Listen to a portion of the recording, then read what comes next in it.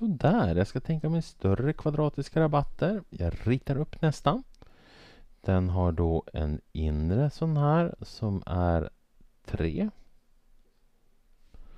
Och så sen ska vi ha blå blommor runt om här.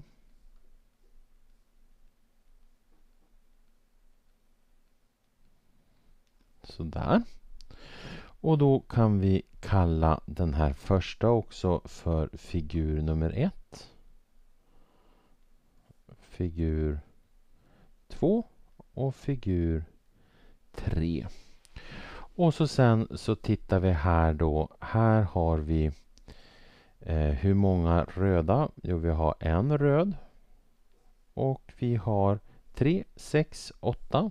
Vi har åtta blå. Här så har vi fyra röda. Och hur många blå har vi? Fyra, åtta, nio, tio, elva, tolv. Hur många röda har vi här? Jo, nio röda.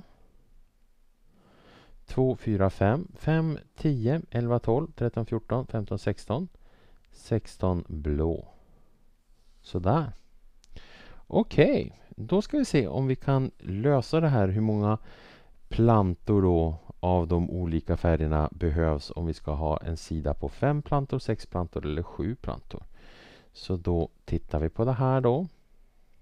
Och så skriver vi sida här.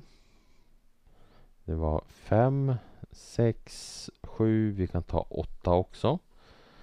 Och här har vi antal,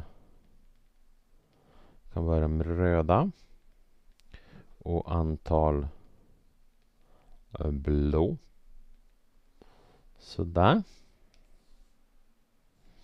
Okej, okay, då kör vi. Antal röda då i en med sidan 5. Det är ju den här och det är ju 9 stycken. Och antalet blå är 16 stycken. Men sen då för nästa. Hur många röda har vi? Ja, om vi tänker oss då, det här borde bli då figur nummer 4 här. Och i figur 1 har jag en eh, röd. I figur 2 har jag 2 gånger 2 och i figur 3 har jag 3 gånger 3. Så i figur 4 har jag 4 gånger 4. Alltså jag får 16 röda här. Och antalet blå, om vi tittar här från första figuren till andra och från andra till tredje. Så har jag 8, 12, 16. Så de ökar med 4 hela tiden. Så i nästa figur så ökar de här med 4. Så då blir det 20. Och i nästa figur då som blir figur 5 här då. Då har vi en sida på 5. 5 gånger 5 det är 25. Och så ökar vi här med 4 till så får jag 24. Och så sen nästa figur som då blir figur nummer 6. Där har vi då en sida på 8.